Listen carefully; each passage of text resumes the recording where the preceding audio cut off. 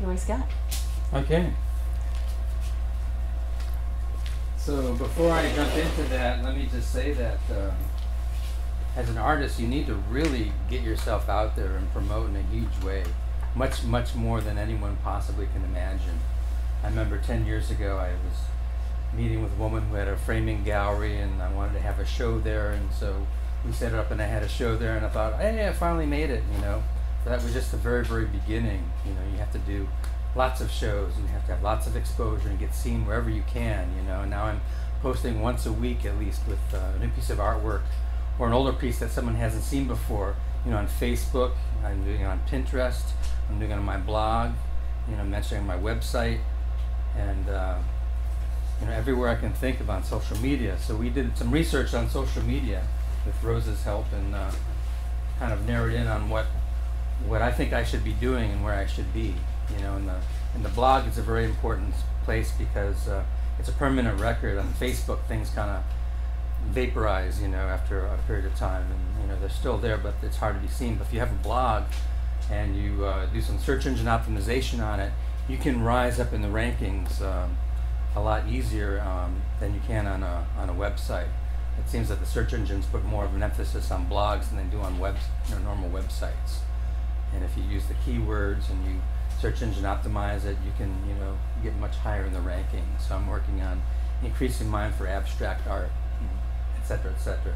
But the point I'm making is you need to get out, and one way to get out is to uh, you know start entering some of these competitions. And I've done a lot of outdoor festivals, but I haven't really done some of these other avenues, you know, and, and so I got a chance to look at this website last night and I got very excited about it. And I said, oh, wow, there's an opportunity. Oh, there's a grant. They're giving out $50,000 to several artists, and all I have to do is submit some slides and they'll pick several artists and you get the money and you don't have to do anything for it. They just give it to you and you can do whatever you want with it. I want $50,000. Yeah. And What there are. website is this? Hmm? What website is this? Well, I'm going to show you. I'm going to show you. This is my intro to get your interest up. so I guess it worked. Yes. Okay, so uh, this is what Christopher shared with us, and I just looked at last night. It's called CAFE, which stands for Call for Entry.org. That's the uh, URL. www.call, C-A-L-L-F-O-R, E-N-T-R-Y.org. Ask how many people are currently on this. Um, I don't know. No, I mean in the room. Oh, is anybody currently on this? Yeah. Oh, you guys are? Oh, great. Maybe you should be up there. so, um, the first thing you do is, uh, you know, you open this up and you uh, register. It's a lot like uh, Zapplication, if you're familiar with that. Some of us art festival people are very familiar with that. And, uh, it's kind of a similar thing where you, uh, you first register and then you upload some portfolio images and then um, and it's just like Zapplication where they need to be 1,920 pixels across, you know, by whatever the other dimension is. Um, and you upload them with a description and, and that sort of thing. We'll, we'll take a look at that. And then you can go through and view some of these calls for, for artwork and events and things and apply for them. And some of them have an entry fee of like 20 $40 or something like that. And some of them don't. So we'll, we'll get started here. I'm already logged in as uh, Scott here. Um, but here's the, uh, the profile, what the profile looks like. Uh, that's not it. Hit it twice. So, um, It locked you out. oh, it did, didn't it?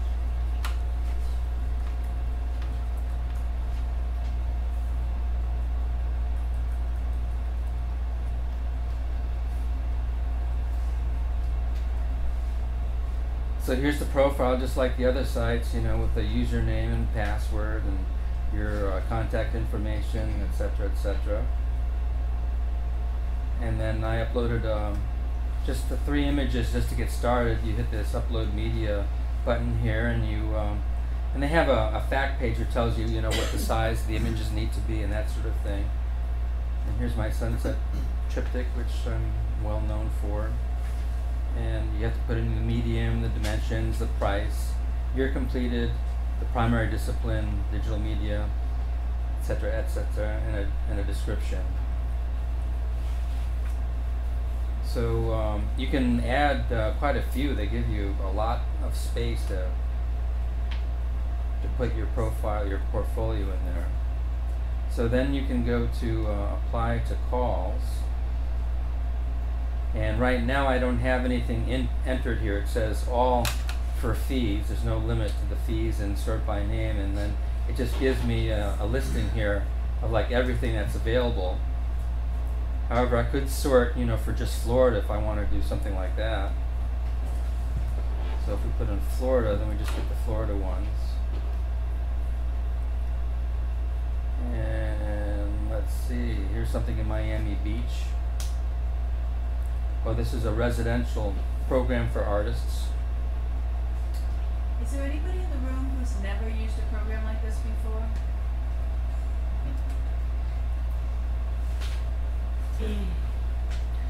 So here's one that I had heard about, but um, I hadn't seen the official call. This is the Tampa Bay Lightning fourth annual call for entry. And it says the, um, the arena and the Tampa Bay Lightning are excited to announce our fourth annual open call to artists exhibition. We invite Lightning fans and members of the local arts community to submit pieces of original artwork to be hung for display in the arena during the 2015-2016 season.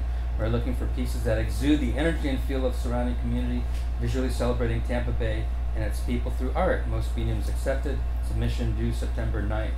Scott, I was in that one year, Yeah. and um, it's really cool because they videotape all of the artists who are in it, Mm-hmm. and they ask you a bunch of questions. And um, then during one of the games, they actually, during a break, they play the videos for the audience. So you're up there like on a big screen in intermission. Nice. Yeah, it's really That's done very, great. very nicely. So I saw this last night and I go, I have a hockey piece. I created a, a hockey player. I should submit that. Absolutely. And Lorraine, aren't those on, they're on display for like a year? Yes, for I think it was a year. Yeah, and they have a reception. Mm-hmm. Uh, I was out of town for the reception, but I heard that it was absolutely wonderful. We framed for a couple of people who have won awards. I'm convinced that if you get it framed here, you win an award. I think that is the secret. Yeah, I think so. Yeah, that is. So if you're a Blackhawks fan, you might be blackballed from Alabama. Just keep it to I don't yourself. Keep it to yourself. Yeah. Yeah, don't ask, don't tell, or something. Oh no, I'm a huge. Lightning fan. Now here's the uh, Tampa International Airport. Lorraine just went to the meeting last week. A couple people here did. Yeah, Candy and I did. I don't know if anybody else did. So that sounded exciting, but you have to have sold a piece for fifteen thousand dollars or something like that, right? Yeah, But either sold or, or been commissioned for a piece that's at, at least fifteen thousand dollars. But Yeah. that's only just that one call. Just, now. just for that call, Right, that call sure. is for the new, uh, Okay. renovations, the new buildings There, they're there's so much art that's going now into the Tampa International Airport, and they do Right. have other artists called currently and upcoming where they don't have that kind of a rigorous. Mhm. Um, but that's the thing is that each one of these has its own spec- specificities, and so when you write your information, you want to write to what they're seeking. So yeah, that was my next point. You need to sort through these and see which ones are applicable and which ones you qualify for. So those are the upcoming ones um, in Florida at the moment. Um, we can reset this and look at a few more or move on. But uh, yeah, I'm excited about this. I hadn't seen this before. I'm trying to get more exposure. Here's some out in California, Los Angeles, Laguna Beach. Oh, and that one for grants. You had some interest in that, right? Call type. Grants. Or maybe I shouldn't tell anybody about this. So grants. The Santo Foundation Individual Artist Awards 2015. Three artists will be selected to each receive five thousand dollars. Five additional awards of one thousand dollars each will also be awarded. You can click here to view some more information about this. And the deadline is ten thirty one fifteen. Seventy three days remaining. So um, I think that's it says funds are to be used at the artist's discretion with no follow up material required. That's strange. Well, you might want to check out to make sure it's for real. Yeah. they do have a forty dollar entry fee. Right. Now, I, I wanted to, because there's so many people here who are not familiar with a site like this, um, our, one of our favorites is called Art Opportunities Monthly. Yeah, and when we used to get. subscribe to that, it was a whopping sixty-five dollars a year, the best Yeah. sixty-five dollars you'll ever spend. And you'd get a PDF and you could search it based on words. Um, we would always search a buying gallery as opposed to a showing gallery because that's a difference. Pay attention if you're out of town, you wanna show big so you can sell big, but you gotta pay to ship big. So you have to think about things like that. Art opportunities, what? Art Opportunities Monthly. Monthly dot com. The reason why we're talking about cafe tonight is because this is what the local city governments use. Okay. This is, um, what the local city governments, the nonprofits and that kind of stuff use. As opposed to what Scott had referenced earlier, if you wanna do outside shows and things, Zapplication, that kind of stuff. With Art Opportunities Monthly, they have residences, they have grants, um, they have shows. So, uh, and generally you can get it free, one month free so that you can check it out. So, let's look at your pictures that you uploaded and see how you named them Another one called Thoughts of Blue, which is hanging right around the corner there. So how many pictures do they recommend that you upload to this portfolio? Well, you can upload quite a few. It gives you, um, I forgot what it was, hundreds and hundreds of megabytes. I mean, you can upload as many as you could possibly want to. Some of the calls I noticed would call for one to eight images. Oh, okay. So, okay. And then for those specific calls, do you attach which images you want sent with it, or is that how it works, or do they just have a link to your full portfolio and they're gonna go look at it? I mean, like Yeah. that one for the hockey, are you able to specifically say, look at this picture, or are they just gonna maybe see it when they look at your portfolio? Yeah, I assume it's like Zapplication where you can pick which ones that you want. Okay. There's like a little, I don't know if, it- I can't remember, there's like a little box that you X. Okay. And so those are the images that you can send to them. from it. So this is like a storage facility, an online storage facility of all of your work. Okay. Yeah, here's one I started to fill out and I saved it ready for submission. And here's a review of it. And I had just submitted this one piece, but I could have selected others. The entry to this is thirty-five dollars. Um, I've got my artist statement there, so you have to have that too. But yeah, I could have picked uh, a number of them. I don't know what the limit is, but some of the entries had, you know, were up to eight images to, to show. So yeah, you can reorder images, you know, re- put them in a different order, Okay. and then there's the checkout, and that's where you uh, pay. It's thirty-five dollars, et cetera, et cetera. Christopher will probably have an opinion, but does anybody wanna voice in an opinion on making sure that all of your pieces look like they belong together and from the same artist? You know, sometimes over a period of time, you've got some images that are straight on, some are three D, some have a black border, some have no border, some have wallpaper. So it's, um, Yeah, lately what I've seen, and maybe you can substantiate that, is that they pretty much want to see the image. They don't want to see the frame or anything else. You know, they won't. They don't want a, a quarter-on look. You know, they just want just the image, 19, 20 pixels on the long side, and whatever the other side is. When, when I've filled out any of these, I stay with, like I do realistic pastels, but I do abstract acrylic, and I'm gonna do one or the other. Um, depending on what I think is gonna work, I'll either do all of my, um, pastels that are realistic, or Mhm. I'll enter all of my abstracts, but I don't mix them. And I want it to all look like it's coming from the same artist, so. um, But you have Yeah. all of those stored on this site, right? You only submit, right? You don't only mix submit the ones- two no. styles, right? I don't, I don't. I think that that's confusing. Yeah. Um, so, but there are certain places that I know my abstracts are gonna work better, and certain places I think my Okay. pastel realistic ones will work better, but I don't mix the two if I'm applying something. Yeah, and that's a very good point. My very first art festival, I don't know, 10 years ago, I had a little bit of everything. I had my abstract, I had photography, I had a portrait in there, and people come by and say, well, "How many artists are represented in this booth?" You know, like, "Oh, geez."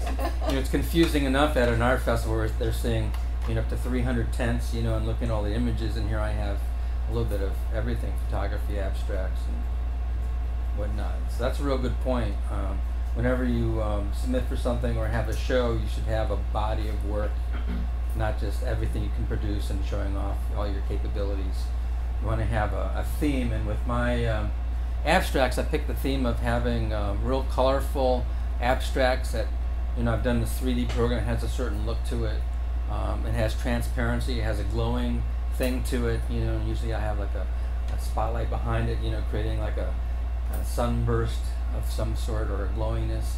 So that's my theme that I adapted to uh, have a, a body of, or several bodies of work that kind of hang together as, as a collection so that they know that I have a definitive style. Because, um, you know, I was a professional photographer many years. I did graphic design, you know, and I'm in the art field. I can do almost anything, you know, pretty, pretty well, convincingly, but it's hard to market yourself when you're all over the map because people don't know how to think of you or they won't remember you. so, yeah, create bodies of work, and you can create a, one body of work and move on to another body of work, but you should probably have at least, like, like these, I did 12 of them so that I had a, a body of work. And I'm going to expand it, but that's a body of work which is different from the other stuff that I do. And I can have a sell sheet on that, I could have a website on that. Um, I can give them to a, a, sales rep and they have something to work with and they have enough variety that they can uh, reach a lot of different people with the different uh, subject matters. But it's the same style and they know it's from the same artist. Now, I wanted to ask um, the people who know who use Cafe, I'm assuming it's like this application where you get uh, notifications when things, certain things come up. Is there a way that you, you get auto, emails? Email. You get emails?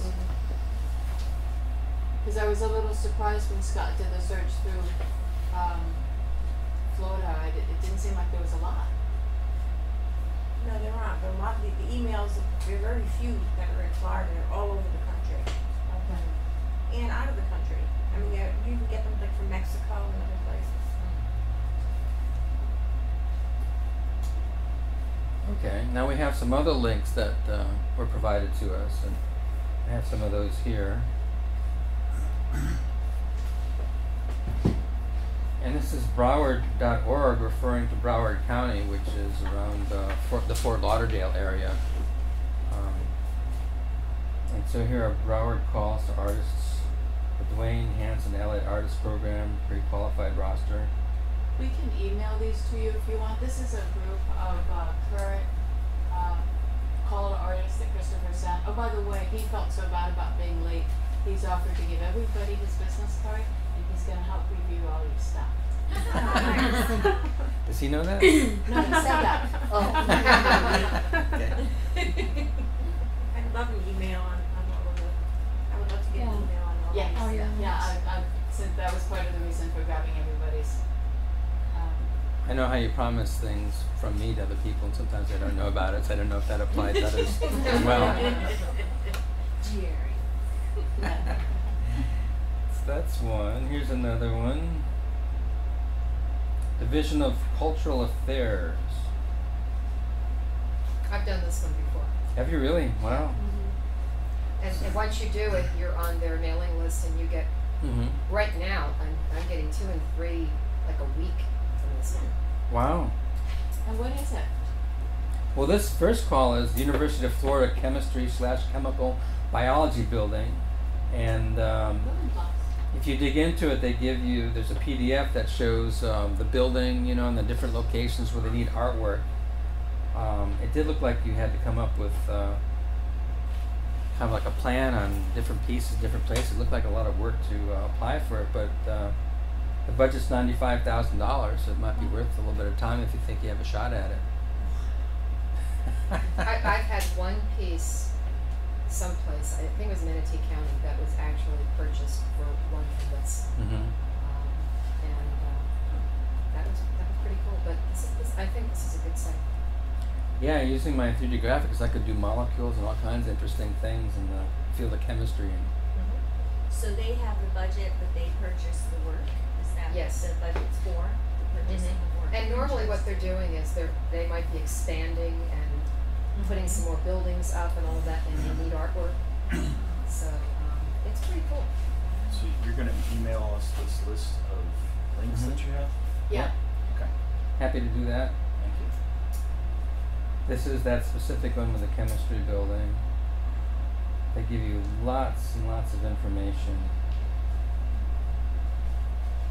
There's a whole lot going on here. They Yeah, do a there, lot there's of, a lot of stuff you have to read, but it's worth it. so there's the building, and then there's a um, a site plan. Here it is, showing the places where they need north entry landscape, north entry portico, atrium, blah blah blah. So that's one, two, three, four, five, six, seven pieces for ninety-five thousand dollars. I could probably work that out. And you don't really have to designate my piece to go here, here, or there. They're just showing you the What, various places, and they give you dimensions, so you know if you have a really large piece, Yeah. that it can accommodate that. Some of them will accept three D work and two D work, some of them need outdoor stuff, so it's pretty wide open, but there's a lot to read through, but it's worth it. Are they choosing a bunch of different artists for each area, or just one? One person that's gonna get all ninety-five thousand. I don't Yeah. know. So generally they Okay. pick different. No, they pick different artists. Yeah. Well, you can read this at your own leisure. I'm tempted to read the whole thing now because it's exciting, but Let's move on we'll move on to the next one.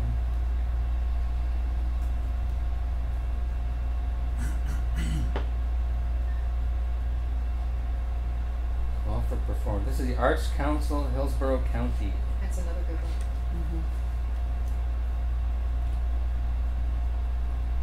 Sculptors, folk artists. Coconut Grove Arts Festival, done that about four or five times. Melbourne Art Festival. Temple Terrace. Alright.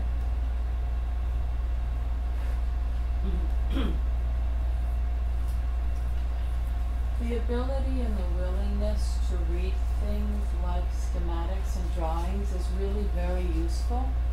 Uh, we do a lot of work for Starbucks and we get the CAD drawings and we have to create pieces based on teeny tiny little CAD drawings. We had a situation last year which was kind of embarrassing where we were ready to ship something and at the eleventh hour, the last minute, we realized we had created the piece two feet too large for the wall. Yeah, because we didn't read the wall correctly. And that would have sucked if it had gotten to California and mm-hmm. they said, gee, it doesn't fit on the wall. That's why they invented the sawzalls. My thoughts exactly, yeah. What did you do? I mean, you had, it was last minute Redo thing. it? How did you redo it so quickly? We just made it, Just Fine. made it happen. we just made it fine. That's good. Yeah, it was a quick contract and we made it fine. Wow. It was a long night. And we Long apologized. night. And we laughed, and then we just hung up the phone and we went to work. um, but that kind of stuff, when when you play in these kinds of arenas and you get all that packet of information, you need to know everybody else is looking at all those little things, you know, and so you've got to really be willing to to do that too. Yeah, as artists, we get excited about the art possibilities and start creating right away without reading the fine print. I do that way too much. You get inspired. Yeah, you do. right ahead. And you want to move on it while you're excited about it, because if you let it sit for a month, then you lose the excitement. You Yeah. know? So that's why it's good to uh, read the fine print or have someone with you who will read it over. Like, hey, did you see this? No? One of the things Brooke Allison, who Candy and I know, and maybe other people in here, uh, she's an unbelievable pastel artist for many, many years. She said that um, you could have the best artwork in the world, but if you don't satisfy the criteria, you're Yeah. out because there are so many people right next to you. So you can have beautiful stuff, but if you didn't enter it the right size or you didn't whatever, whatever, whatever, you're it's just gone. You're gone, and they they go on to the next person. So the devil's in the details on these things. Yeah, and you're about to bring up the time I judged that show. You may. I got asked to judge an art show, and my selection for second place got declined because the artist didn't fill out the title and the size. So, you know, just a little administrative oversight or didn't bother, you know. Mm-hmm. So they had to go to somebody else. They got rejected out of hand, and it was like the most incredible piece. There's money involved. So, yeah, you got to pay attention to the details. So if you, if that's not something that you enjoy and that you're good at, that's okay. You find a friend and you buy them coffee, and they be the one that reads it, things over, and checks it for you. And that's fine. There's ways around it. What else is on the list? Well, this is the Arts Council in Martin County, which is out on the other coast. But um, there's always something interesting. Barn theater auditions. I don't know. Sarasota. That Sarasota is always good for uh, selling artwork. It's one of my favorite areas. Call the Artists for Art Matters. Art Center Manatee Art Matters is an open, all media juried exhibit that celebrates the importance of art in our lives and in the life of our community. Art will be displayed September 1 through October 2nd. Opening reception will be September 3rd, 5 to 7 p.m. The exhibit and reception are free and open to the public. So entry uh, is available through August 20th. So these are just more shows, Yeah. as opposed to something that you can submit for. But even still, Maybe I'll do this one. Hmm. All right, so moving on. This is down in the Keys.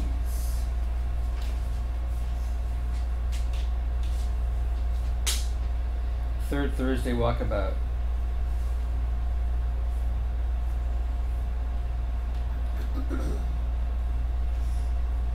I'm headed down to the Keys, honey. See ya. awesome.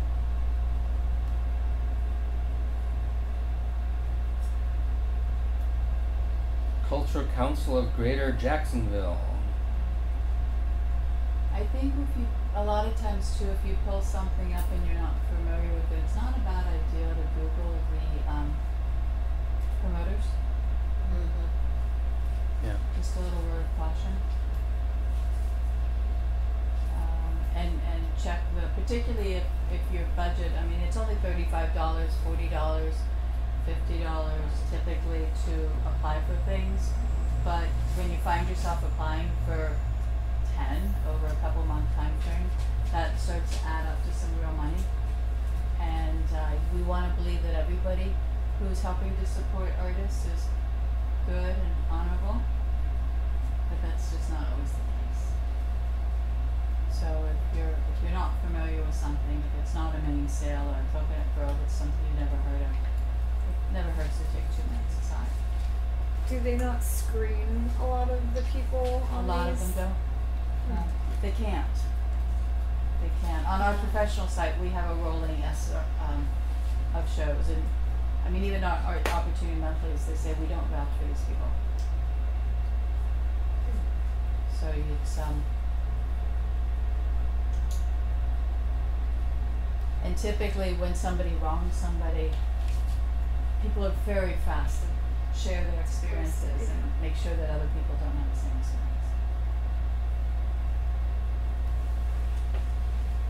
But I think Hillsborough Arts Council is probably safe.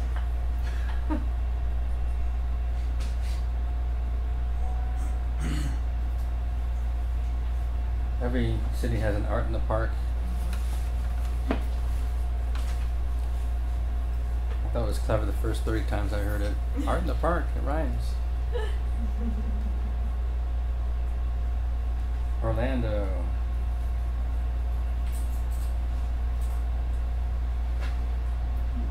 If you are interested in showing your artwork at one of our galleries, please submit a resume bio along with a CD containing 10 JPEGs. Well, that's nice.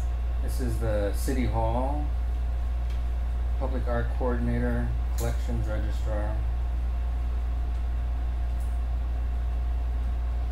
So when they say in one of our galleries, which galleries are they talking about? I don't know yet. You have to read us. It, it looks like it's the city hall galleries, a lot of times, um, similar to in, in Clearwater where the library has a couple of galleries. A lot of city halls have their own galleries. And what do they do, like rotate artists? Just, they're up there for a month or whatever. Right, right. Yeah, I was at the Oldsmar City Hall for a couple months. So was Sherry. And, and there's the Clearwater Main Library for months. That's coming down at, um, At the end of the month, Jess said. I Yeah. I've called her twice and I was like, Yeah. This one gives a um, whole thing about the artist selection process, which is good to read through. Another good thing if you're not familiar with, if there's a way to find out on an artist selection process who the juries are, the judges are, Mm. and what they like, and their personal tastes, and you can tailor your submissions to that, there's never a wrong or bad thing.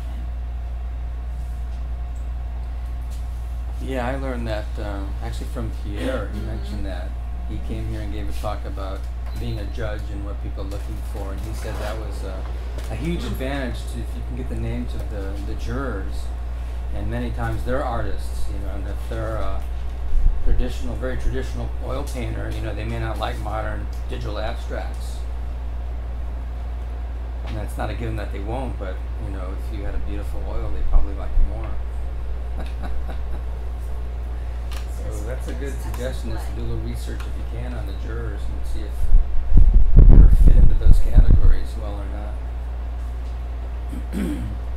May or may not be true, it's just something to consider. Yeah.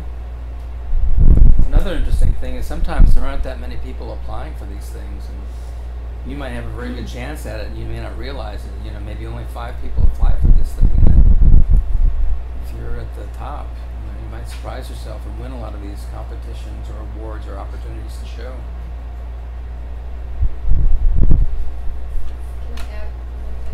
I don't know if anybody saw recently, there was a call for artists at um, Bell's, apartments for Bell's.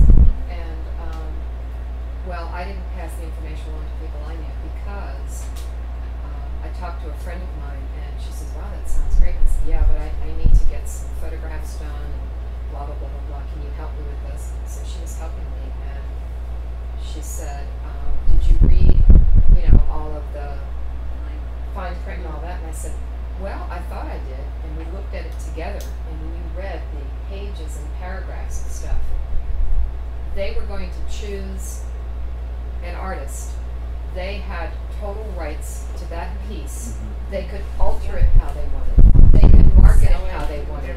they They could do anything they wanted to it, um, period. And there were so many things that stipulated in that that was just bad.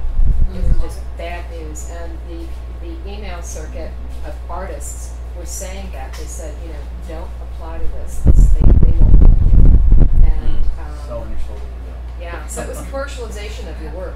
But, Yeah. um, but it really came with such caveats that you really had to read paragraph after paragraph after paragraph to say, oh my goodness gracious, I don't think I'll do this. don't think I'm gonna do this. So you really do, and I hate reading too.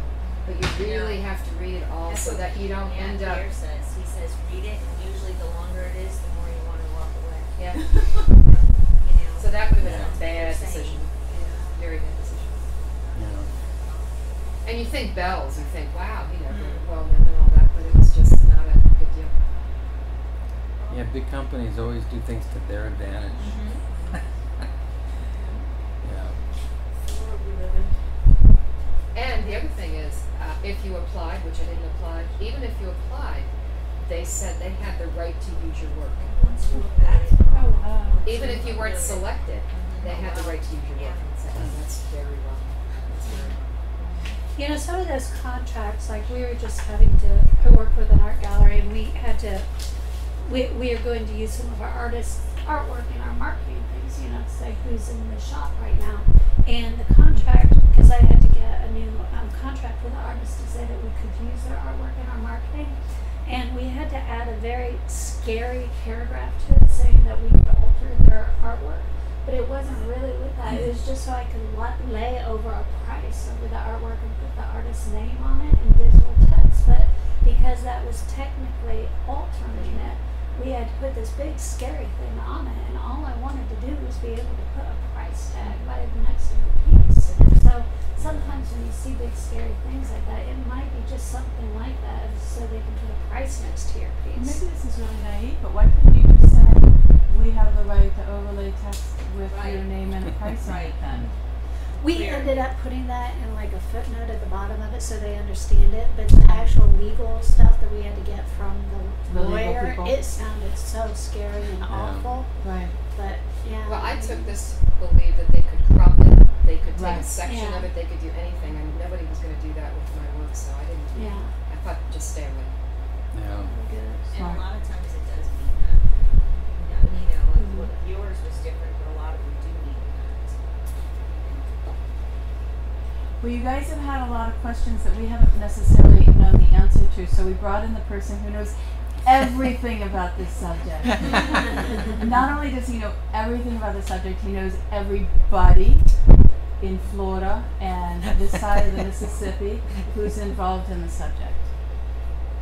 So, um, Scott, you ready to give up your seat? Yeah. Do you need the internet? to, Um, not the internet, but I'll just plug in here. Okay. And, um, I've got a little presentation for you. Thank you all for your patience. I apologize. This is like the other half of a public art specialist's life is kind of doing whatever pops up on the side. Uh, the city is sending a delegation to Japan in celebration of our 55th anniversary with our sister city in Nottingham. And uh, as of that, I am the city liaison that's going to kind of uh, all of the council while while they're over there. And so I needed to orient them as well as the citizens into what to expect. So thank you for bearing with me. Um, at the end of tonight's talk, I'm going to leave my card with you. If you have questions on your resume or you have a first draft, send it over my way. I'll take a look through it. I'll give you some comments, uh, some thoughts on how to format it for public art. Um, calls to artists what'll be the most effective way of getting your name to the administrators like myself who often are doing about 12,000 things at once. And uh, it helps them help you better. So, thank you. With that introduction, I'm going to try and live up to those ginormous shoes that uh, I've been put into. Um, but uh, let me just introduce myself first. My name is Christopher Hubbard. I'm the Cultural Affairs Specialist for the City of Clearwater. I've been with the city for just a shade over nine years now. And uh, I came from the Florida Art and State Buildings program, uh, sort of serendipitously found my way into public art. Um, I was a graduate student at the University of Florida, didn't know what my assistantship would be uh, that would cover my tuition. And um, I had experience in working in museums since I was in middle school. I did an internship with the Museum Support Center and the Smithsonian um, up in Suitland, DC. That is the attic for the Smithsonian. Uh, it's where about 80% of the collection of the museum is held at any given time. Um, so, with that, they have four large format um, storage facilities, about as large as a football field each, with four floors. They were cordoned off into anthropology and natural history, um, biology, archaeology, and kind of bric-a-brac, if you would.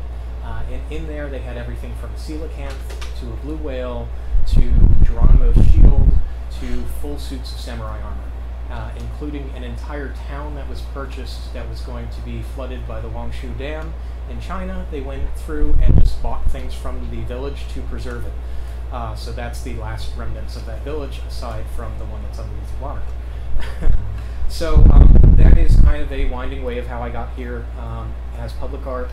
Uh, I was discovered uh, by the former manager of cultural affairs for the city of Clearwater, Margot Walbolt, who you may have known and worked with in the past.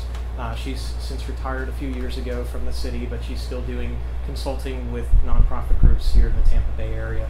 Uh, Margot mentored me, showed me kind of ropes and how to work in the city climate. Um, previously, I was the liaison for the Art and State Buildings program, working with the state department on public art commissioning.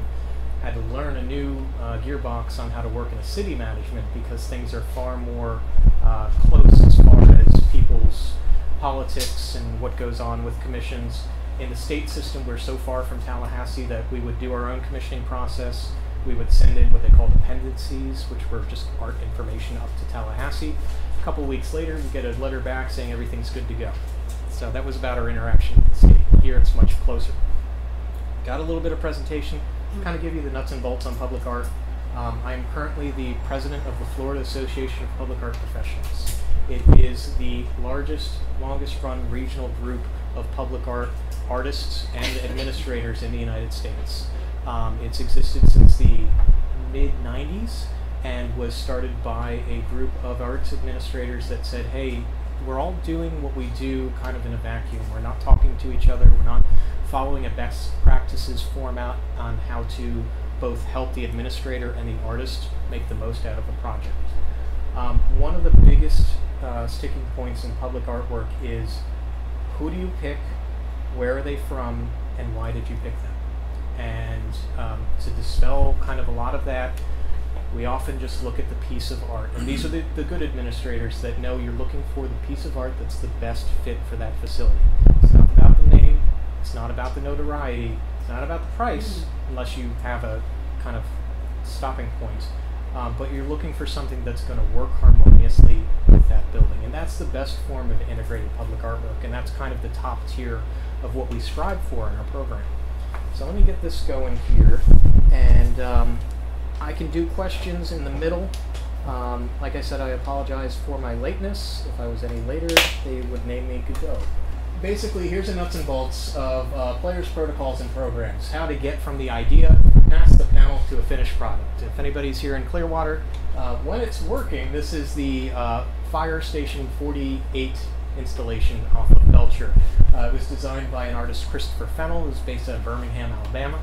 Um, he was born here in Pinellas County, still has ties to the area. Um, those ladders that you see in that picture are all decommissioned fire ladders from Pinellas County and City of Clearwater fire stations. Uh, every so often they have to pass an inspection, and if they don't, they get cut because you do not want a firefighter going up to save you and have a rung break. So what Mr. Fennell did was take all of those, re-weld them back together, bend them into that flame installation. Um, a lot of times people will ask, well, how do you know if a project's successful or not? And uh, this is a really good one in which um, you know a project is successful when a firefighter has a tattoo of your artwork on their leg. So um, that was kind of a really uh, smile-inducing moment for us when the artist was there doing some touch-ups and the firefighter's like, "Hey, come here, I want to show you something." so, yeah, yeah, um, and that's what we strive here in Clearwater is to have a diverse body of work. We're a new program. We only started in 2005 and really took effect in 2006. So we've only had a handful of commissions. But that doesn't mean that we're not working hard on doing something good for the city. It's just going to take a little while to get there because our funding process is tied into the city capital projects. I'll tell you a little bit more about that. Now, this is how we go from bottom to top or top to bottom, if you will. Now, in Clearwater, the municipal city council is elected by our citizens and they're kind of the end all be all to public art decisions. All of our contracts are approved and reviewed by City Council after going through the lawyer farm, after going through my desk, after going through the artist desk. So there's a number of different layers in there. However, rest assured that the contract that we work on here in Clearwater, and we're trying to push out to other cities as well, is approved by the Americans for the Arts Advocacy Organization. And what they did was they put together a panel of artists and administrators throughout the country and advocates as well, and found the fairest, most accurate contract for a public art commission that you can get on the market these days. Um, this applies to the Visual Artists' Rights Act of 1991. Um, this also applies uh, applies to uh, defacing an artwork, uh, what to do, when it happens with that, how do you handle it.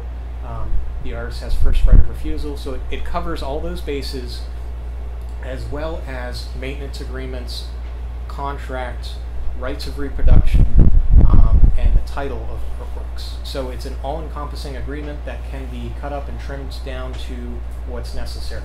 I have worked hard with our city attorneys to get it into a fashion that the city of Clearwater has bought into it.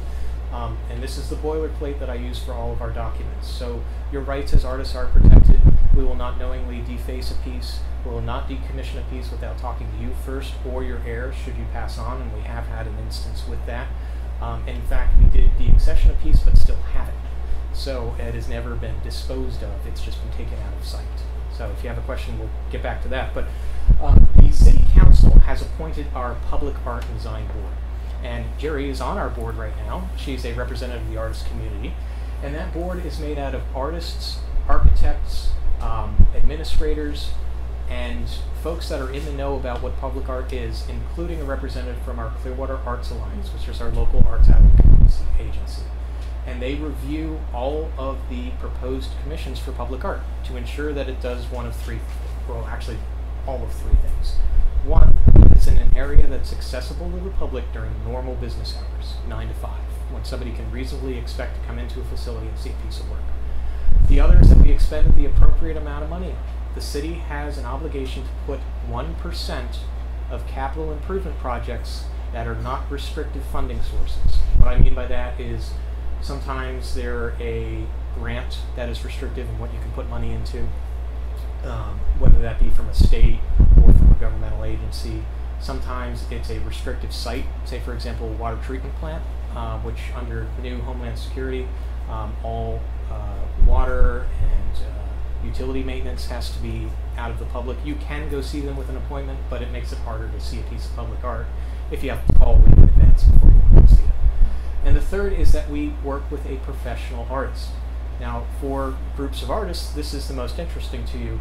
A professional artist is defined as somebody who receives either a majority of their income through the creation and sale of artwork, has an extensive exhibition or creation portfolio, whether you've been exhibiting or creating works for a number of years, or you have received training in the arts from an accredited institution. Um, that covers undergraduate studies, that covers graduate studies. Even if it's not in the medium in which you're currently working, you have had some training in the arts and you understand what it is to be an artist. Those are our three basic things, and they're easy to hit, but we also have to make sure that those are all well documented. If a citizen ever asks to see those, we have all that information at the ready. So the Public Art Board serves as our, as our oversight committee as it, and is endowed by the City Council to manage the public art program. Then, for each public art project, a selection panel is created.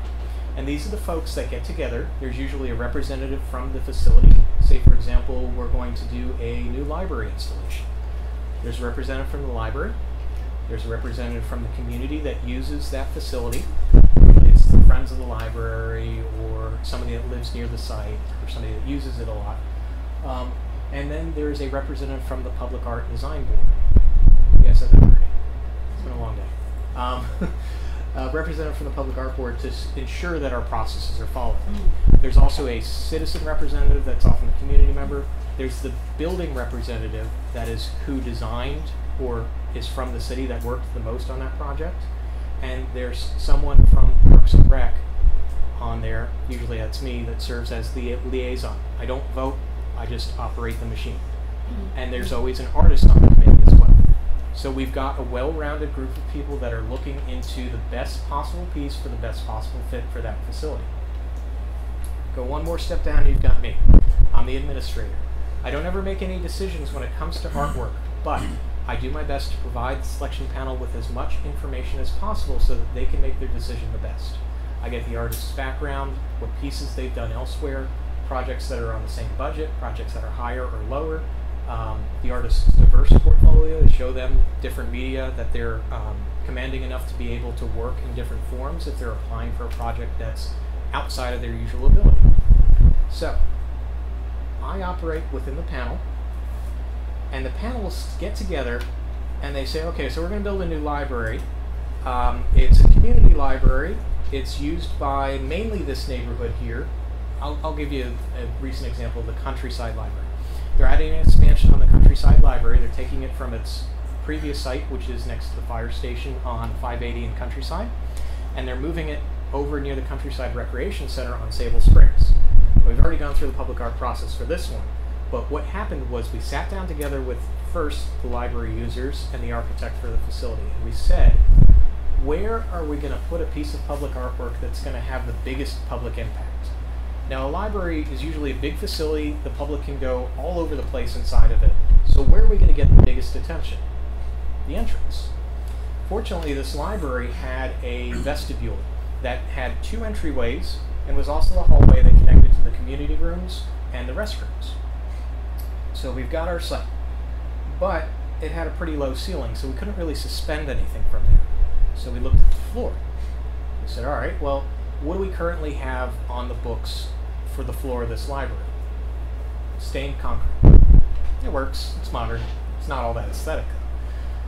We said, what if we did terrazzo? And what if we worked our piece of public artwork into the terrazzo?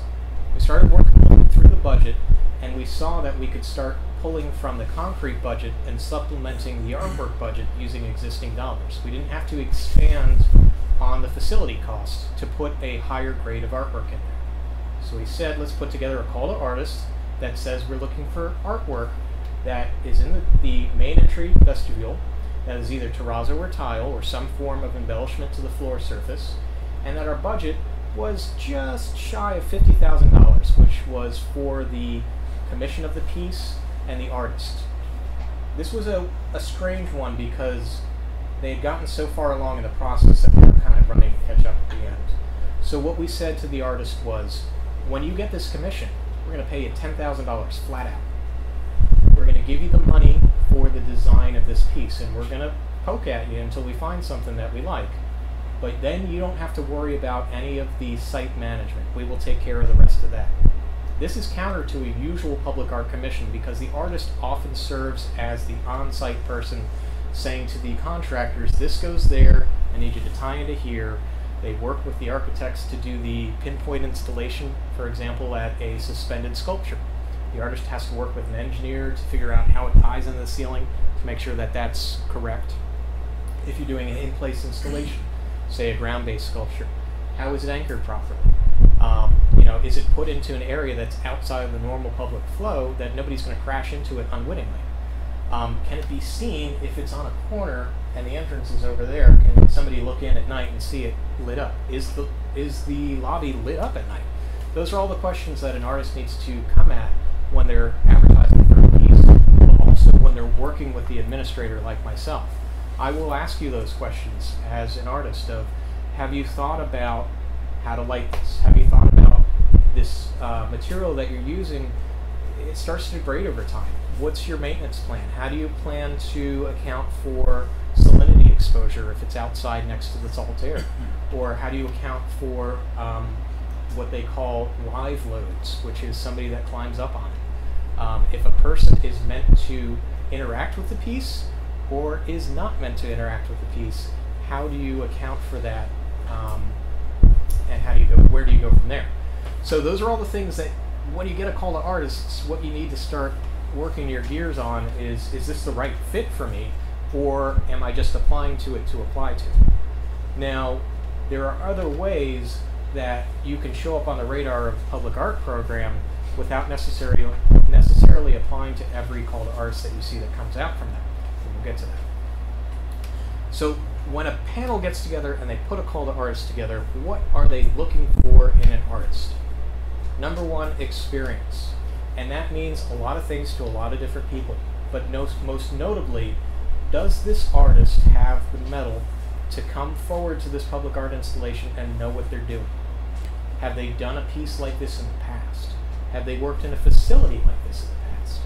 Have they interned or mentored under somebody that's an established artist? Those are the kind of things that we're looking at to say, yeah, we can trust in this artist that if something comes up, they're going to know what to do nothing comes up honky dory, everything's great. You know, any artist that can work in that medium might not have a problem. But if something goes wrong, are you going to have the wherewithal to figure out how to work with the administrator to get it back on its tracks?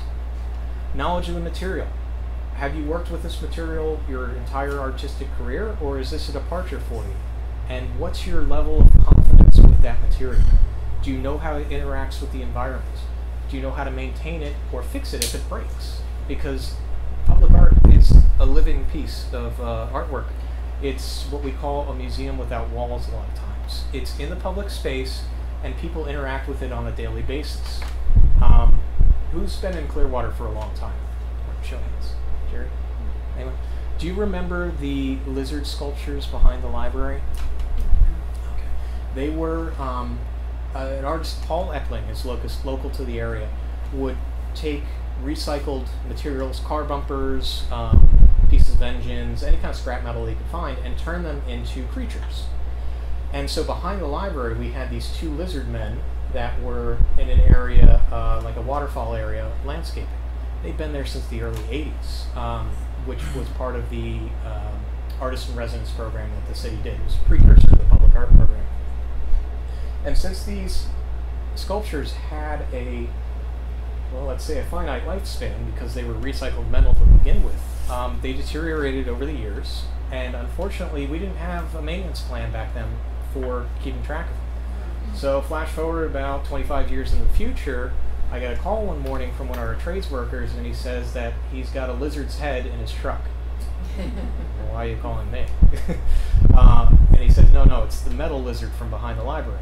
Somebody had decapitated the lizard, and um, so I went over, picked up the, the head, uh, went back out to the site, and did a condition report on the existing piece.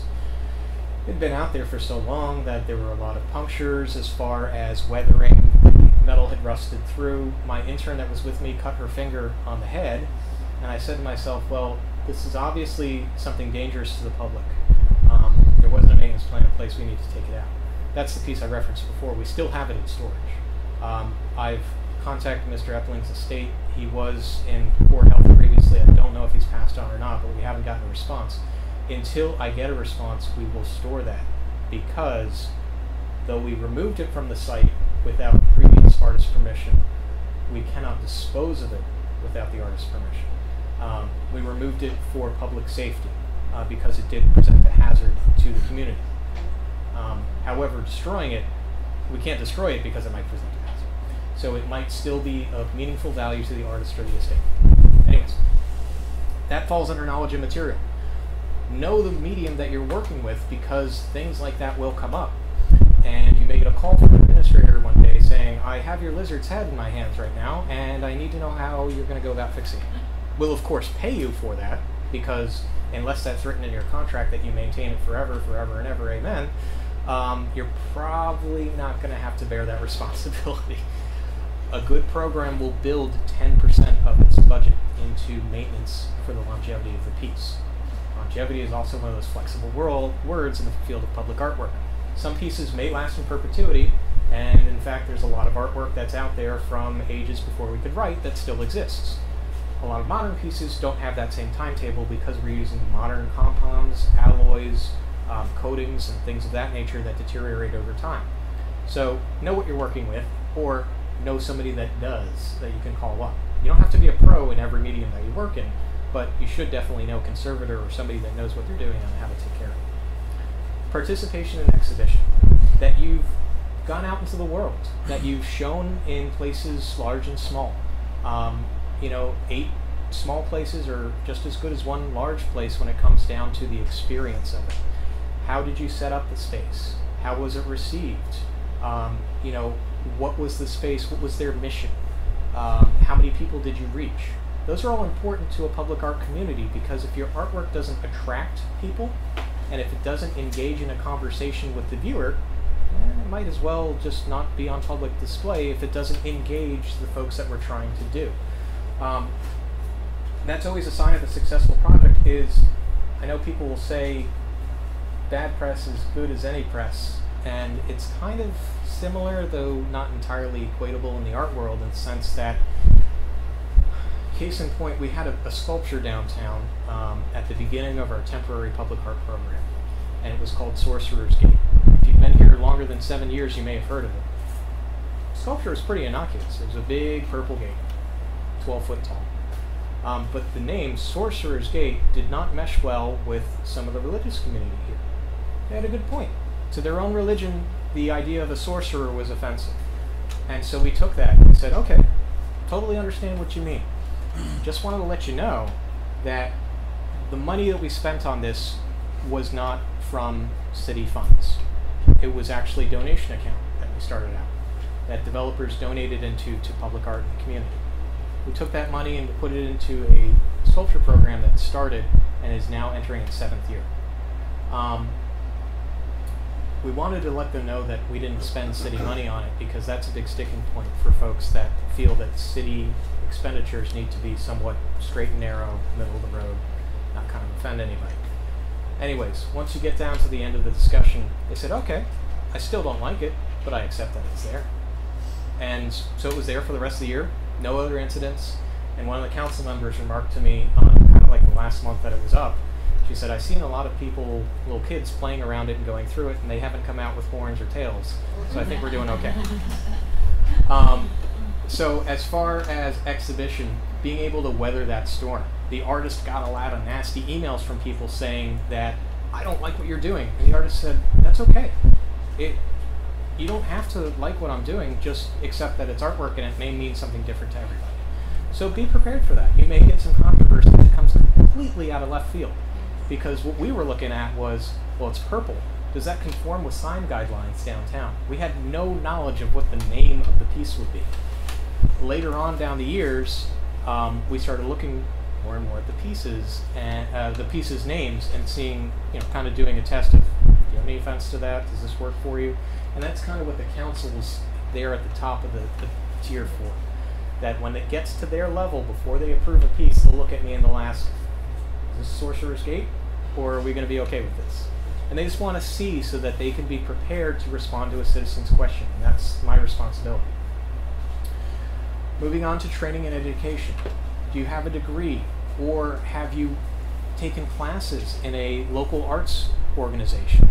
Um, have you participated with the university? Just some sort of formalized training, either a mentorship or an internship that shows you have experience in the arts familiarity with the community. This can go a long way in a call to artists because they'll ask, How well do you know the community? If it's in your backyard, you can probably tell them the names of the people that use that library. But if you're applying to something in Kansas, you may need to do some research and go to Google before you start out on that call to artists.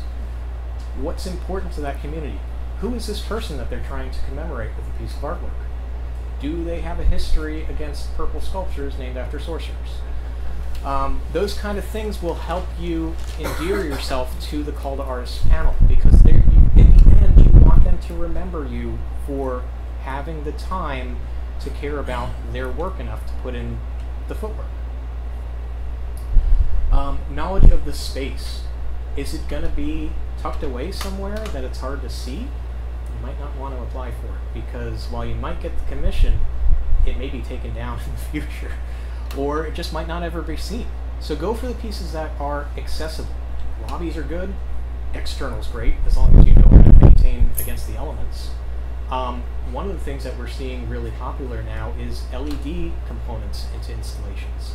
LEDs are rather affordable these days, and artists are integrating them into their pieces to give it another viewing point at night. Um, the piece changes.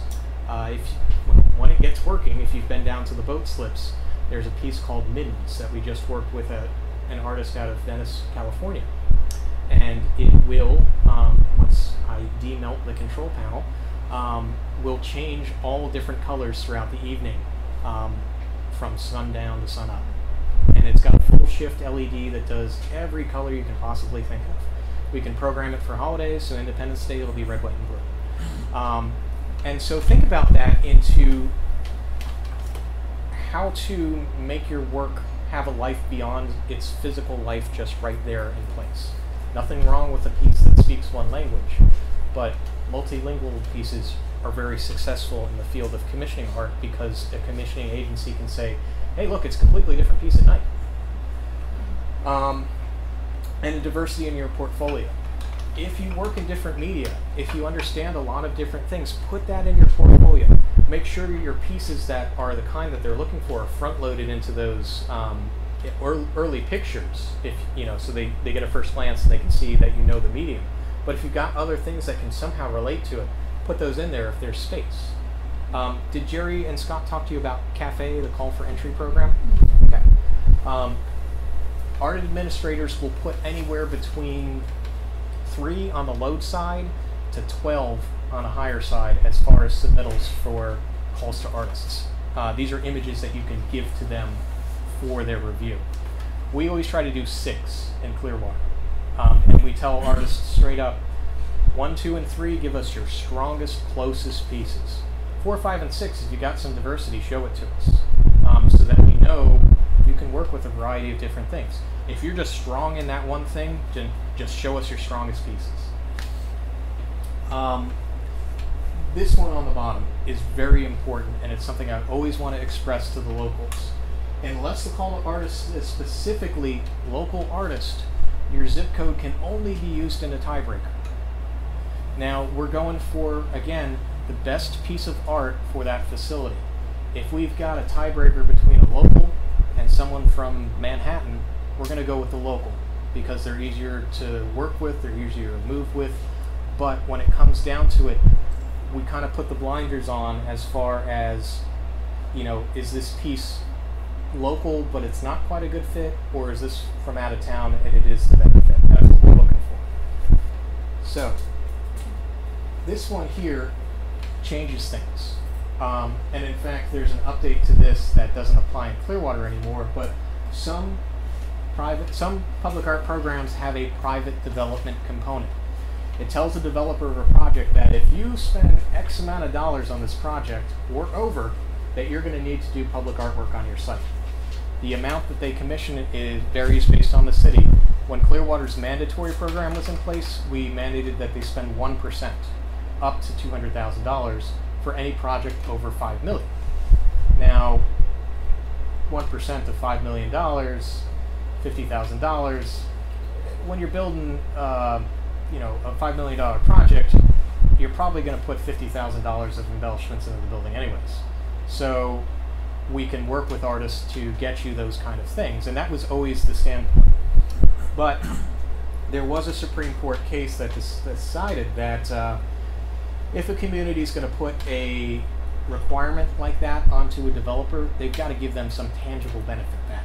Case in point, if a developer is building on land and the city says, well, you've got to improve the stormwater runoff for that site, there's a tangible benefit in the sense that when it rains, they're not in a swamp. Art is a little bit more of a gray area, and we pushed hard on the city attorney to say there is a tangible benefit, is that this building will be unique compared to everything else. But the Supreme Court said, it's your call. Our city attorney did not want to stand up and defend that, so we are now a voluntary program. Doesn't mean that developers have headed for the hills, we are still working with developers. But there are other sites that, are, or other cities rather, that are still doing this mandatory thing. Getting back to the point of this slide, is that developers may come up against ordinances and do their own thing. They can either go on a shopping trip and just say, hey, we like your work, we want to give you money for it. Or they can hire an outside consultant, which is kind of a freelance administrator like myself. Or they go to the city or municipality and say, hey, you know your community the best, who works in the area that knows what they're doing in artwork and would be a good fit for our facility. This and the next slide is how you get into the public art program without applying to a call to arts. Write an administrator and ask them, do you have a percent for art uh, program in which you have an artist database? Or do you have a private development program that is in need of an artist resource guide? If they say yes, ask them what format, what format do they need it in and get you put down to the copy store and get them your portfolio as quickly as possible. Because when a developer comes to an administrator like myself and says, we need some help, who do you have locally that works in pastels? Database, I search it for anybody that has pastel colors, and I ship it over to the developer and I say, these are folks that are here in Clearwater or in the Tampa Bay area that work in pastels that would be good for your facility and then they start calling them based on who they like. So it's kind of like a curated Google search for them that they're already vetted, the artists would qualify for the public art program, and they're sent right over to the developer. Other times we'll work a call to artists with them and we'll go through that same commissioning process that the city goes through. But a lot of times they want to get in, get their artwork, and get out because they're trying to turn a project over. So that's important. Do a search, and the organization that I'm part of, Florida Association of Public Art Administrators, it's our website is www.florida, all spelled out, publicart.org. On that site, and it's always been a bear to keep it updated, but there are over 30 public art programs that are listed on that site. Give them a call, ask them if they have an artist database or if they have a, a collection resource that they give out to developers or that they keep for their own uses for, for public art projects and ask them how do you get on that list if they have one. That is one of the easiest ways of getting seen by an administrator. The other is temporary art. So I mentioned the Sculpture 360 program. The big chicken the egg debate in public art is okay, so we want to commission an artist with experience, but experience in public art commissions. But if nobody has experience in public art commissions, how do they get experience to get that job? And it kind of goes in a continuous loop. Temporary public art projects are the best way to go because they're often one off commissions you get an exhibition working with a municipal administration in a public space with almost no contract as far as it's a loan agreement. There's none of the crazy stuff in there as you know it gets into like a 30 page contract with lawyers. It's pretty basic. You're agreeing to loan a piece for a year. The cities give you X amount of dollars. In Clearwater, we give you three thousand dollars for a piece for a year and a half now. We used to do it for a year, but um, we're just going to extend it for a year and a half because it's a lot to keep rotating them out. And after seven years, I don't know if I can lift up another piece of sculpture by myself. But um, some facilities will offer you $500 or $1,000. There's competitions for uh, best of show sometimes that you can get more money. There's a ton of them around Florida. Sculpture Key West.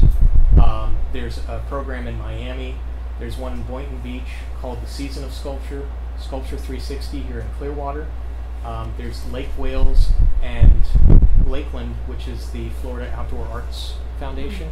So do a Google search for temporary public art Florida, and you'll see those start popping up. They have either rolling deadlines or they have um, kind of end-based deadlines. Clearwater is done for this year, but we'll put out. Uh, we finish in March 2017, so January of 2017 we'll put out our next call to artists. Um, and check and see what's going on with those. They're good because they're temporary. They're good because people are excited about them of what's coming up next in that program, and they're a good way to break in with a lot of um, good exposure at low impact as far as your first project, or if you want a project that not going to have you hanging from the rafters trying to engineer something. Here's another slide. Um, this was what I was just talking to you about. This Florida Association of Public Art Professionals. It's now changed to administrators. And we have an annual conference every year. If you can afford it, it's the best money that you can spend to talk to the most people about public art in the state. Uh, we typically have between 20 to 40. Last year we had 50 public art artists and administrators in one location from all over the state. Next uh, May, rather, we're going to be in Venice from the 4th to the 6th. Uh, we have we get there for uh, the latter half of a week, and we meet on best practices. We do a year in review and show all the pieces that have been commissioned throughout the year. Um, we also talk about what's happening in the world of public art as far as maintenance, conservation, any changes to legislature or ordinances, who's gained a program, who's lost a program, and all these folks are there to talk about specifically public art. Bring a bunch of business cards, you know, get your face out there and let them know what's going on. So that's kind of the end of the presentation side of it, and I want to jump it over to more participation side. Um, who here has submitted to a call to artist recently? Okay. Which uh, calls have you done, ladies? We'll start with you first. Oh goodness, quite a few. Um, I, well, the last call of artist, um, call to artist was the one at the uh, airport. That, Okay. Um, but I didn't qualify for it. But that's the most recent one. Okay, thank you.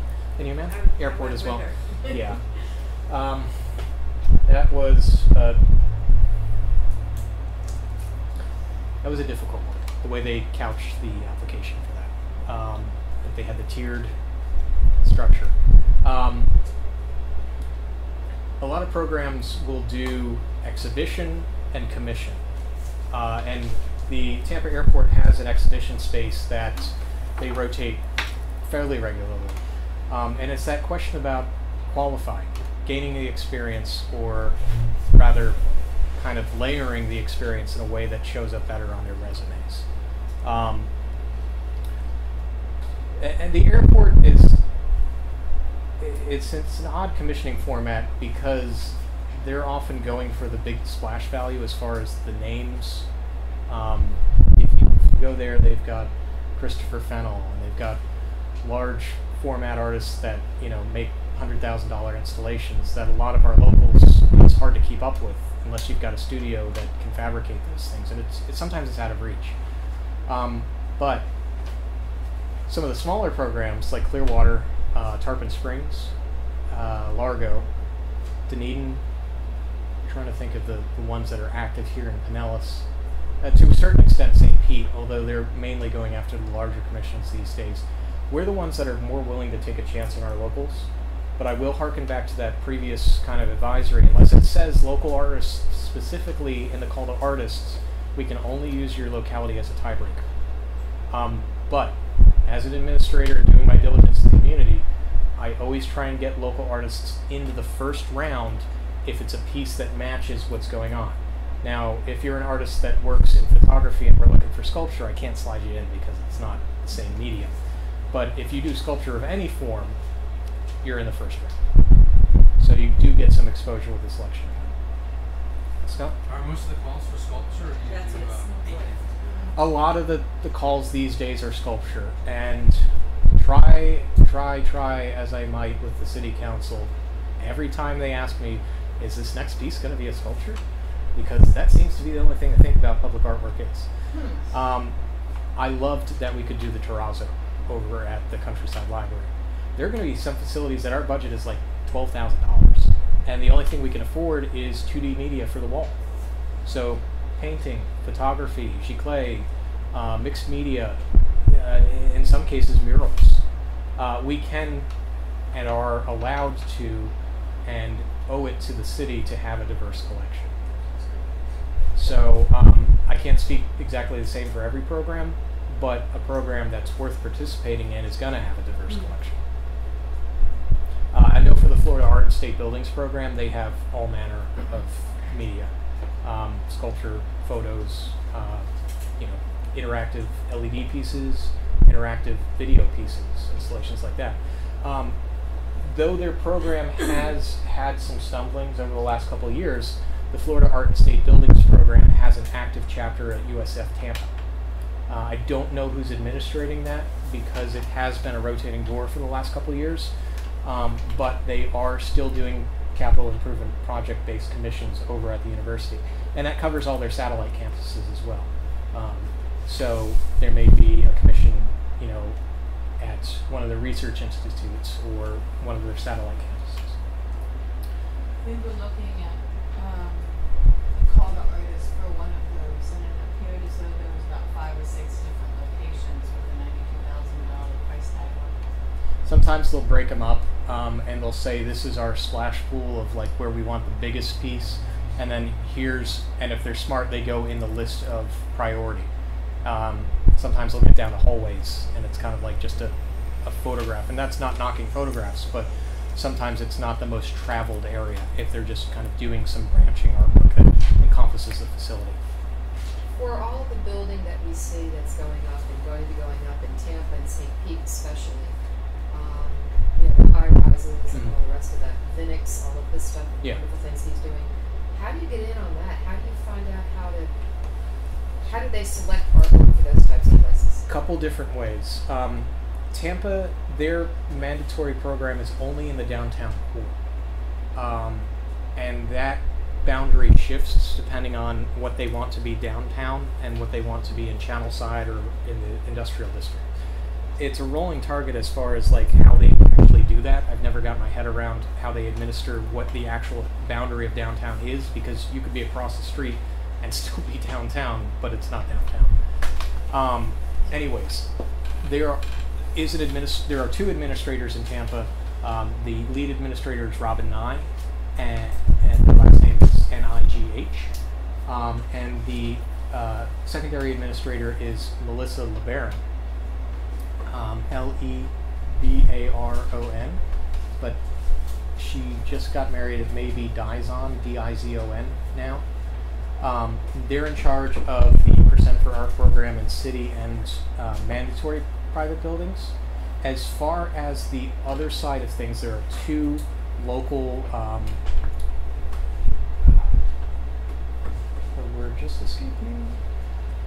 Two local people that work in public art, and I can't remember the uh, contract uh, workers.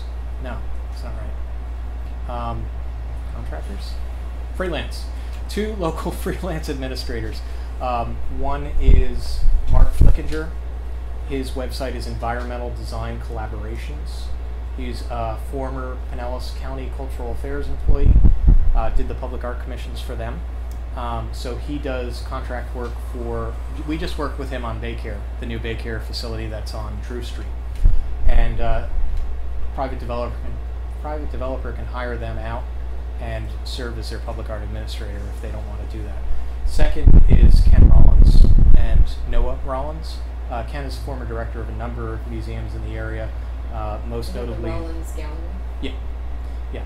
Um, Tampa Museum of Art, and he does some of the higher end installations, uh, the large skyscraper towers, um, and he uh, RollinsFineArt.com, I think, is their website. Uh, so he'll serve as your gallery representative. Now, what usually happens with that is you don't pay them directly; they get a percentage of the commission um, from the developer. Um, Jerry, do you have any calls that are up on here, or Scott? Any? Yeah, we had um, tabs open for different. I wonder if I can Different sites that you maybe read through one with you and. Yeah, you can just pull that whole thing up. Okay. And if you go to cafe cafes, the very first tab. Perfect. And we're live. We were live tonight. I guess it might be out. All right, let's take a look at a call together, and we'll read it through, um, and see if we can figure out what they're looking for. Um, this fee apply thing, that's not cool. uh, Twenty-six dollars just to apply. That that seems really unfair to the artist. We will never charge anything as far as the city of Clearwater putting a call up there for you to apply to.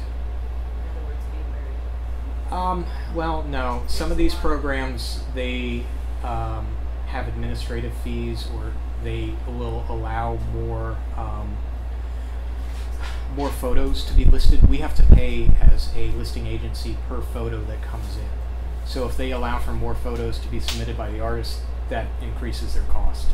Uh, it costs us about a thousand dollars to list a call on Cafe, as far as the administration agency. We build that into our project cost. Uh, lot of these they charge because they're shows. So it's only like for a month or. yeah, uh, some some regular commissioning agencies will charge too.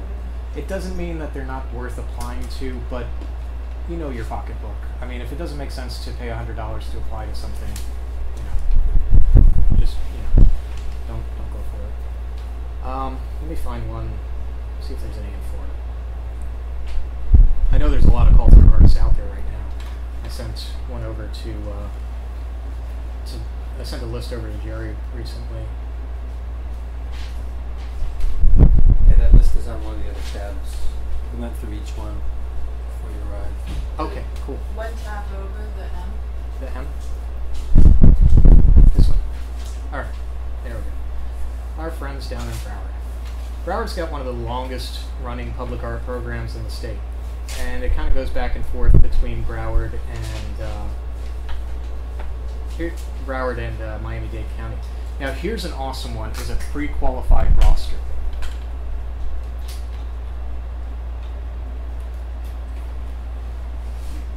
Pre-qualified rosters are like those databases where you submit to the agency ahead of time when there's not a commission, and they keep you on file so that if a uh, mosaic commission comes up, they respond and go through all the mosaic submittals that they received and pick somebody out of there, or pick three people out of there to come back and say, this is what we would do to this facility.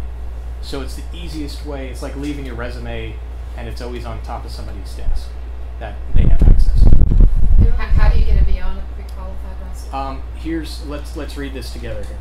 Um, so this one's specifically for Broward County. Artist eligibility: mid-career professional artists who have resided in Broward County for a minimum of two years. There's their there's their residency requirement. There. And who have a strong interest in gaining expertise in the public art process are encouraged to apply. Artists working in all media are eligible. No prior public art experience is required. That's awesome because what they do is set you up with a mentor in public art work. They're going to be your go-to person to say, "How did you do it? How did you start?" They'll train you in the medium. They'll train you in the documentation that you have to have for a project. And oftentimes, if they have a commission, you will work with them on that commission and gain the experience with that. You can list that in your resume and programs that, say for example, you've gone through Broward, other programs in the state will say, okay, this artist knows what they're doing, they know what they're talking about. So this is for pre-qualified artists for $50,000 or more through the public art system. Um, in order to gain technical and administrative expertise needed to complete, compete within the field of public art. Art, allied artists are matched up with commissioned artists based on their level of experience, medium, and general interests the lady that manages this one is named Christina Roldan, and she uh, spends probably about 50 to 60 percent of her time working with this, checking on the mentors, reviewing applications, and placing them together. It's a match system. It's not just randomly assigned. They want to make sure that the artist fits together to gain the most experience possible. So it's a shame you have to be living in Broward County, but these are the kind of things you want to be looking for that apply to you. Anything like that on this side? Hillsborough County Arts Council will do things like that, and they often. Um, last year they had a artist resource grant that you can apply for. I think it was up to three thousand dollars to expand your craft as an artist, and that can be anything from supplies, technology, going to a conference, or getting training in the arts. You can use that for tuition reimbursement. And I was a panelist on their, their grant review panel, and we awarded the most points to artists that had a specific need that was clarified that improved their skills as an artist. There was a lot of, I need a new Macintosh laptop because that'd be great. Um, yeah, I'd love a new one too, but how does that advance you as an artist aside from letting you browse the web better? Now, if they said I needed this one program on the computer, that would be better because then they could then operate in the program. The artists that got high marks were going to a conference specific to their medium. They were taking a training class at USF or you know another college to diversify their skill set. Um, they were buying materials specific to their medium. Uh, one artist was doing an archive project for old photography, and they were buying a high-end scanner.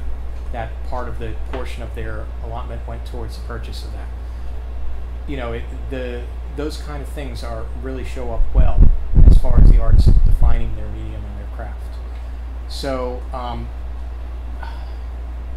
it's a shame that the Pinellas County Arts Council doesn't exist. Um, however, the Hillsborough County Arts Council has really reached across the bay, if you will, to assist Pinellas County artists. I strongly recommend that you take a look through their website. Um, take a look at the opportunities that they're having right now and see what kind of advancement they're doing. Also, the um, local art studios and the local art education facilities, Dunedin Fine Arts Center, the Creative Artists uh, Workshop. Um, I'm trying to remember, there's one just off of um, Douglas near the brewery um, in Dunedin. That's a good one. Um, look for places that have classes that can train you or studio space that you can work in and around other artists. Okay, so maybe you're an artist that likes to work alone by yourself, but go to time, uh, go to open gallery talks and interface with other artists and find out what they're doing. Ask them questions of, you know, how are you competing or how are you applying to other color artists. Like the gallery here, the gallery talk that you're at tonight. It's good that you're here. Jerry and Scott have done an amazing job in elevating Clearwater's uh, community arts resources. And actually, I wanted to give them a little thank you um, because a lot of times the art administrator for the city can only do so much. Uh, in addition to public artwork, I do cultural affairs, which is hanging exhibits in buildings. I do the international relations program, which was at, was at earlier tonight, which is um, sister cities relationship and things like that. And I also review every special event permit that comes through the city. There are over 150 programs every year that we do, and I have to communicate with like more than 12 departments on each of those. So public art went from like all of my time down to about this much of my time. But that's my passion, and this is the stuff that I work on when I have a break to work on what I want to do. Um, so let's keep going through this. Sorry, I'm kind of spinning off the wheels tonight. Um, here's their selection process. Their artists are asked to submit a letter of interest, a professional resume, and one CD. Still using CDs um, with digital images of recent work uh, and an annotated image list. Make sure those two work on Macs and PCs. A lot of times we'll get dead discs, or back in the day, that it was in only one format. We had to take them out um, unless it was prior to the deadline, and we'd call them up and say, hey, reformat your disk, send it pronto. Um, and make sure your annotated image list matches up with what's on the CD, because there's nothing worse than trying to figure out um, dimensions of a piece that's not the correct piece. Uh, also, if you like using inches um, or centimeters or any other metric um, measurements, put them into feet as well. Most of the time, I do um, for outdoor pieces, I'm always converting them into feet because the selection panel says, okay, 47 and a half inches. How many feet is that? You know, and so I'll have to either do it ahead of time or I'm caught on the fly trying to convert that for them. Um, letter of interest and professional resume. The letter of interest is where your research shines as far as I want to work for you. Um, for example, if they put out that this is the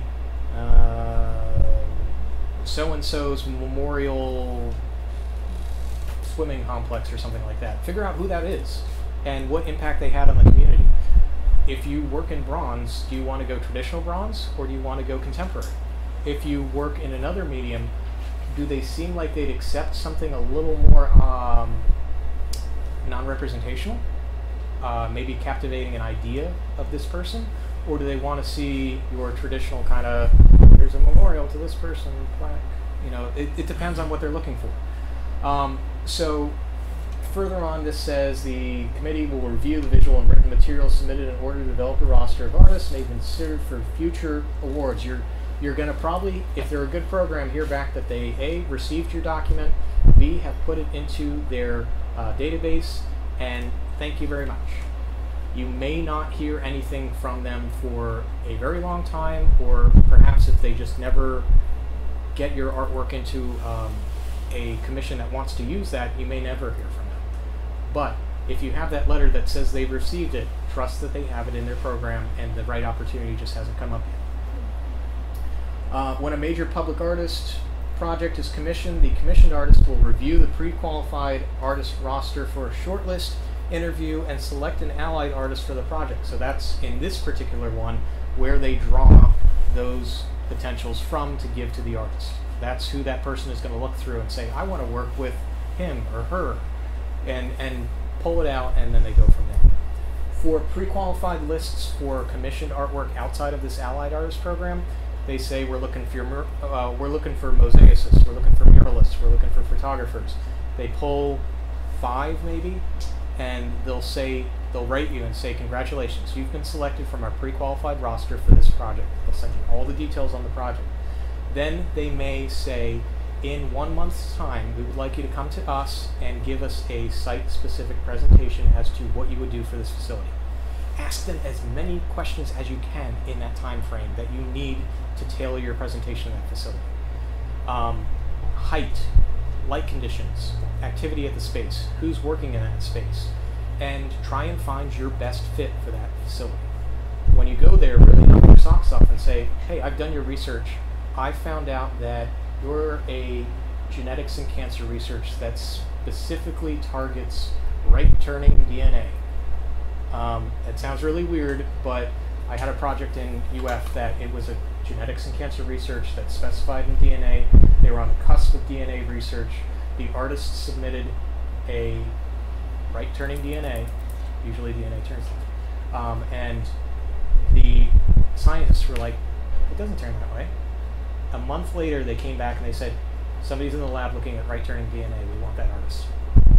So it's a matter of knowing your medium and knowing the space.